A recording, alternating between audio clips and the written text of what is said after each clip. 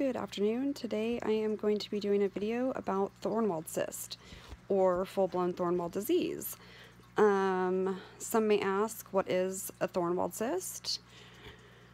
Well, the easiest, most micro-condensed version I can give you is it is a congenital birth defect.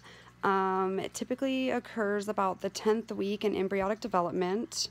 Um, the first thing that develops in an embryo is the spinal cord. And once that spinal cord forms, the top of the cervical spine, right here, um, there's a spot called the notochord. And that notochord, developmentally speaking, should basically create a little fold and close that orifice off to begin the development of the endoderm, our brain. However, in patients with a Thornwaldt cyst, that notochord orifice doesn't ever fully seal. So when the endoderm starts to develop, there is essentially a little pouch left there for infection and mucosa to get trapped in. When a Thornwaldt cyst does develop in that orifice, and causes full-blown Thornwaldt disease, a patient will typically present to the emergency department with ear, nose, and throat issues, um, such as chronic obstruction of the nose, maybe otitis media, where they're not fully hearing from both ears. Um, maybe they have a high-pitched ringing in their ears or um, a severely sore throat with no infection present. So patients will present to the ED with ear, nose, and throat complaints or otolaryngology complaints. Um, typically, the ED department will do an MRI or a CT of the head and neck to verify that there is no cranial, cranial abnormalities or vasculature problems within the cervical spine. Um, nine times out of ten, if a patient does have this congenital birth defect and they present to the ED with such problems, a Thornwaldt cyst will incidentally be noted, but the patient will not be informed. The patient will be given nine times out of 10 antibiotics, um, told that they have chronic sinusitis or um, allergic rhinorrhea, which is a constant drip of the nose, and discharged and sent home with antibiotics. Well, the problem with the Thornwaldt cyst is antibiotics will not cure the infection present because it is in the midline of the brain, basically, where the paranasal sinuses meet the development of the brain. So it can cause throat obstruction, um, a feeling of obstruction in the nasal cavity. It could cause ear fullness or the feeling of fluid within the ear cavity. Um, so let me stop. I was in 2010, I started developing chronic problems um, related to my vision, hearing, and cervical neck, cervical spine, excuse me. Um, I went to the ED December of 2010, three times, sent home every time, told that it was all in my head, that there was no problem. I had chronic um, sinusitis, and I needed to see an ear, and nose, and throat specialist so about two weeks went on and I started to develop a three and sixth damaged cranial nerve where my right eye essentially began to cross in and I couldn't get it to retract back normally. So I called 911. The ambulance came and took me back to the ED. I was subsequently diagnosed with idiopathic intracranial hypertension, which is either an abnormal production of cerebrospinal fluid or an abnormal absorption of the cerebrospinal fluid within the body. In my case, they don't know.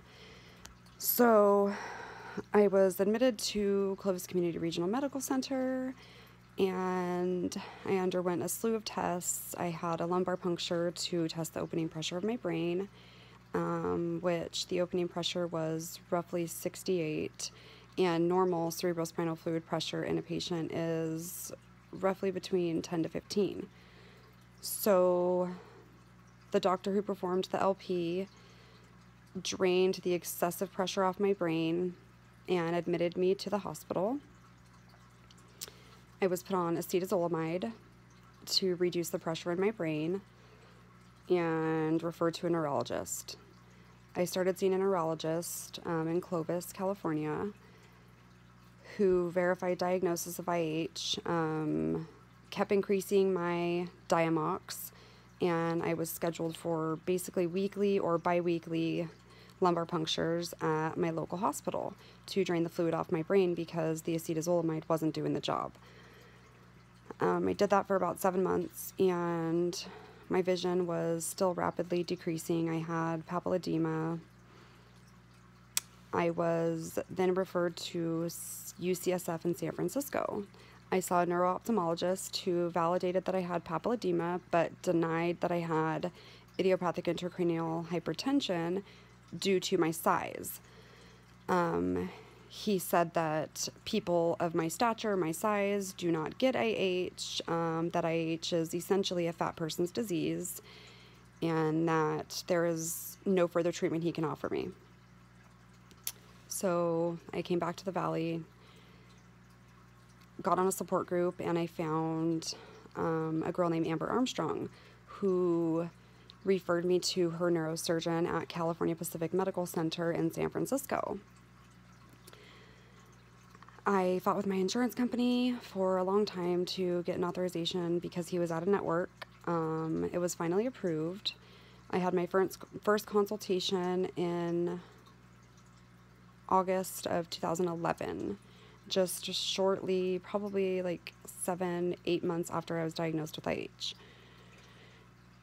Dr. Andrews confirmed diagnosis based off medical history, um, the amount of lumbar punctures I had had, with the extensive high opening pressure numbers that I had um, and the extensive papilledema. So he said I needed a ventricular peritoneal shunt in my lateral ventricle to basically reroute the cerebrospinal fluid to my abdomen, my peritoneal cavity. August 11th, 2011, I had my first VP shunt placement. I did pretty good. Um, about 10 weeks later, I started developing flu like symptoms. And I called my neurosurgeon. He said, I'm in Hawaii, go to your nearest emergency department.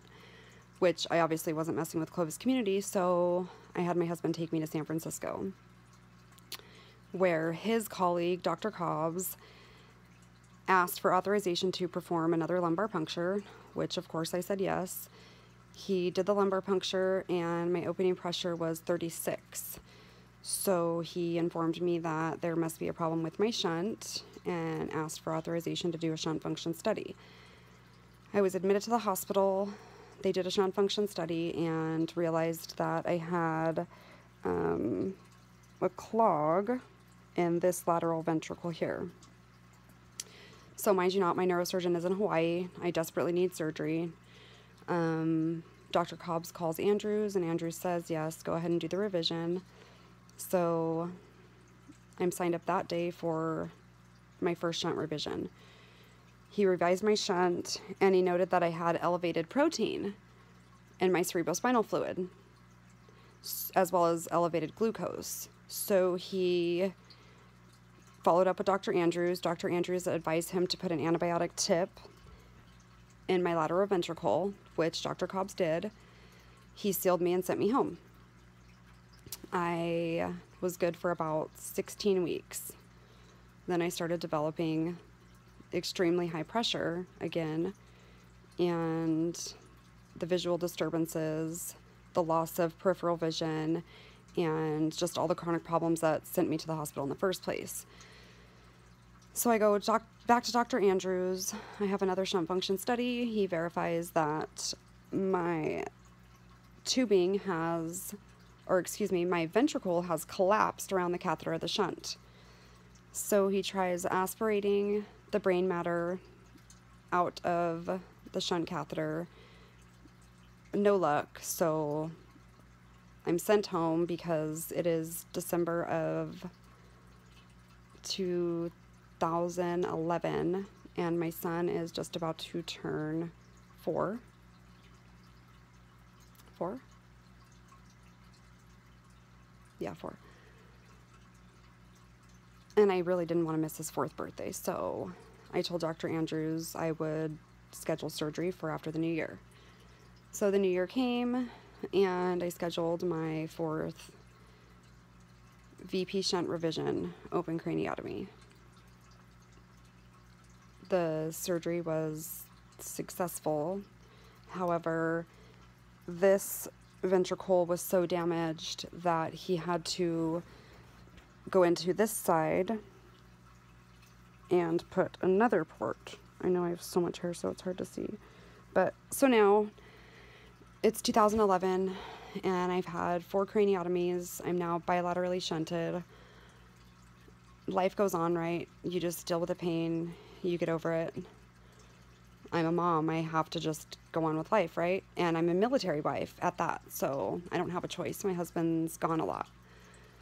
Um, I continued to have problems, and now it's January of 2020, and I'm still chronically ill.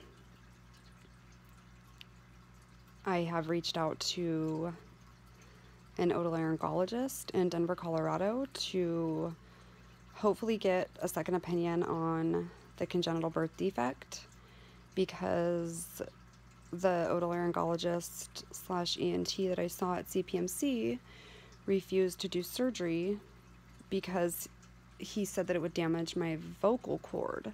However, he was mistaken. The cysts that he noted on my vocal box were not or excuse me, was not the Thornwaldt cyst, it was a mucus retention cyst. So he refused to do surgery. So I'm basically back at square one 10 years later, searching for answers. And I am so hopeful that Dr. Hepworth will look at my scans and say, I clearly know you had idiopathic intracranial hypertension. However, I think I hope he can validate my theory. My theory is, let me back up, sorry. Um, my shunt's broken right now, so I'm in here really high pressure, so my brain's just like all over the place. Um, but my theory is, is that when I was six months old, I was admitted to the hospital for lethargy and severe dehydration. Uh, my mom said that I was having problems eating and drinking. I would choke so I just really wasn't eating or drinking properly. So one night she woke up and I was completely black and blue um, and non responsive.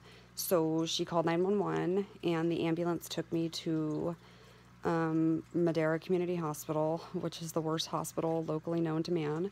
But, anyways, she didn't know. So, six months old at Madera Community Hospital, I had a severely high fever um, that was causing febrile seizures.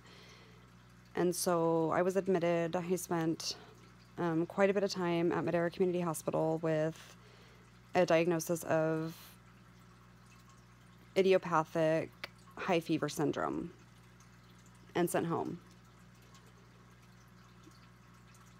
Well, problems just kept developing, and about the age 11, I started fainting, having, having repeated fainting spells. Um, whether it was while I was doing PE or just walking down the hall to go to bed, I started developing vision problems. I had a chronic headache. I was still having these throat problems um, where I would choke on food spontaneously or even drinking something. And so my mom started seeking help. She took me to every specialist she could possibly think of. Um, at age 12, an ear, nose, and throat specialist finally suggested that I have my tonsils and adenoids removed. So I went on to have my tonsils and adenoids re removed, and I still had problems. So my primary care physician told my mom that I should be followed by a neurologist. So my mom took me to more neurologists than I'd even like to mention. Um, they basically all told her that I was that she was crazy and there was nothing wrong with me. Maybe I just had a little bit of depression, um, but there was nothing wrong with me. So basically, stop trying to find answers. So she did. which I guess I would have